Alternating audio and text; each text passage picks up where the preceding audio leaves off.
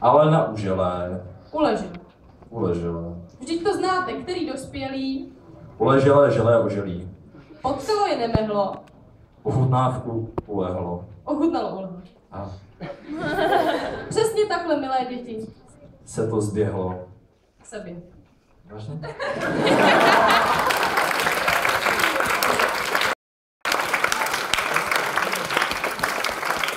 Já mám takovej Dost... ten joke. Jo, teď bude ten joke. A jakože vážně dobrý, jo.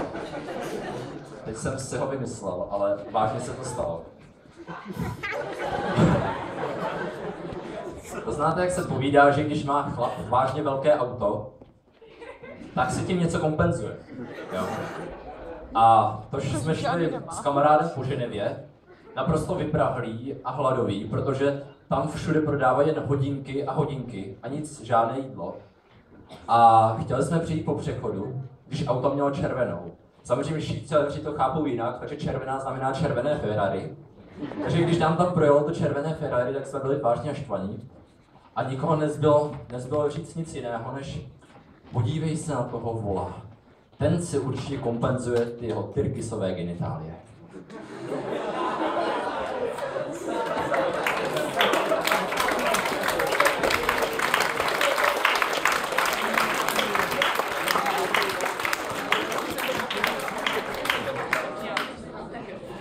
Kožikovi a teď vystoupí duo z Octavy opět.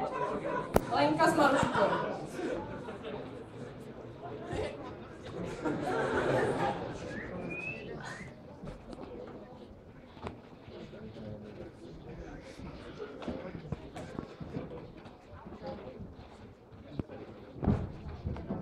Thank